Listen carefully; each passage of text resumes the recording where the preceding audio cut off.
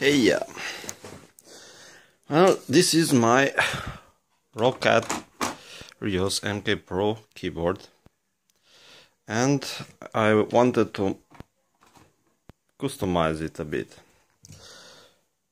I already made a video about these three buttons being hard to press.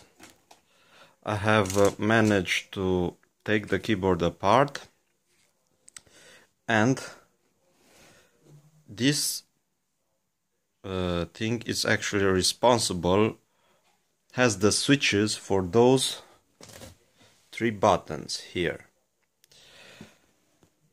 These are the actual the actual switches this keyboard uses.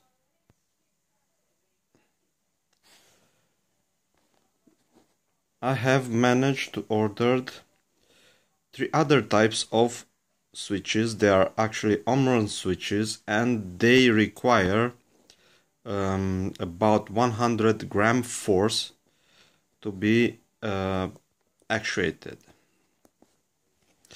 This from the feel of it require about two or three times that force. These are the switches of this type that have the least actuation force um, needed to work. They are also uh, off on switches. When you press them, they actually um, make contact. They mechanically do a contact. Uh, so they actually switch on. When they are not pressed, they switch off.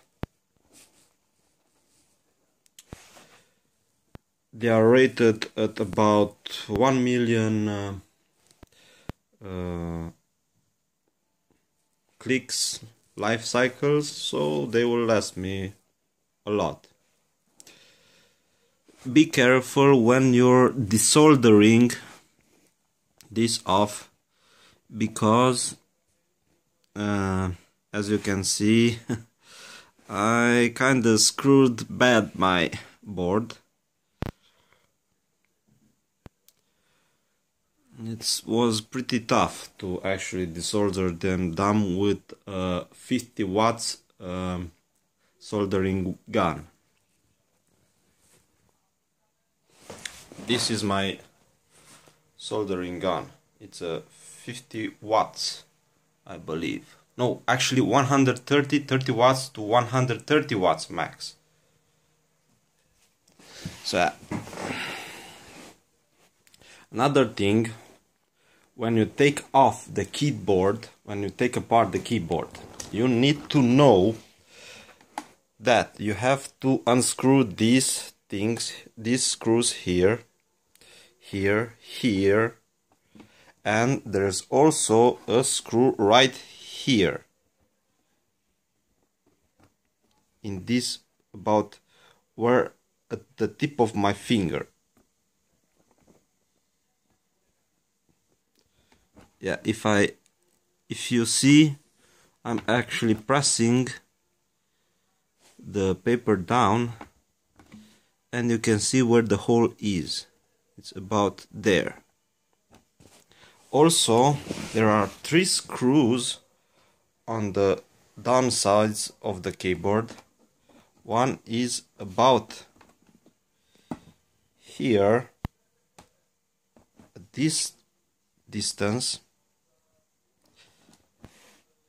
One is exactly at the middle of the keyboard of the keyboard, and one is here, also here this uh, rubber is actually glued down and it will if you take a screwdriver you can actually or a knife you can actually easily take it apart just from the side just enough to unscrew the screws.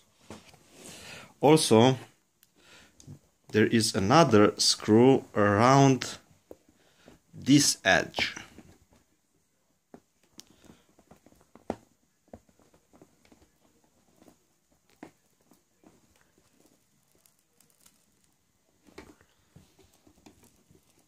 as you can see. And the same goes for this side. And the last two screws are here. In the superior part of the keyboard right here. And also here. If you unscrew those you can start taking apart the keyboard. I recommend you to take all the F uh, row of keys uh, um, to take the caps I pulled the all the F keys and also the um, keys here and the escape key and the spacebar key before I took the superior part the cover of the keyboard off. Um, you have to keep in mind that this thing is actually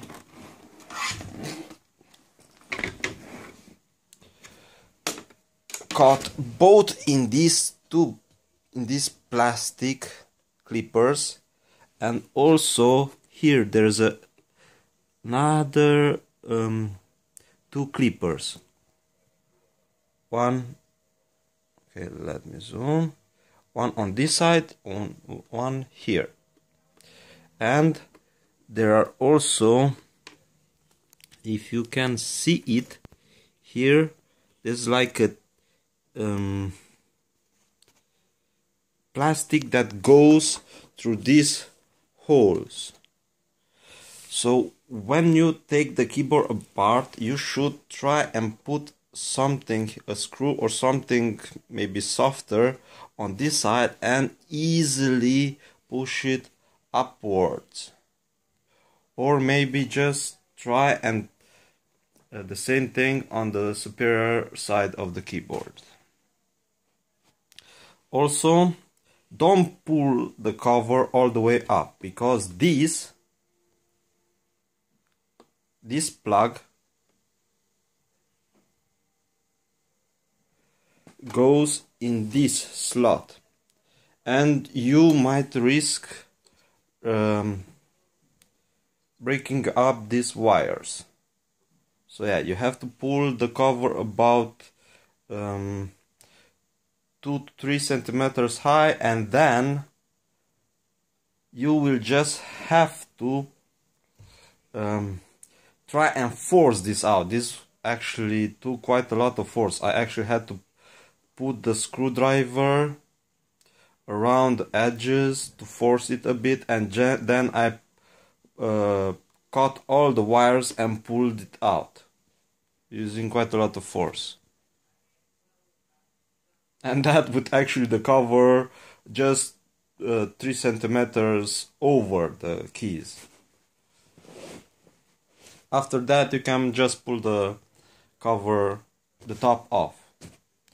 And you can work to customize your keyboard if you want to. For me the problem was the thumb buttons were pretty hard to press. And now with this I think it will be just the right amount. Considering the mouse click buttons require 70 uh, gram force to be actuated and this actually require a bit more about 100 so it will be just the right amount considering your big thumb actually has quite a lot of force in it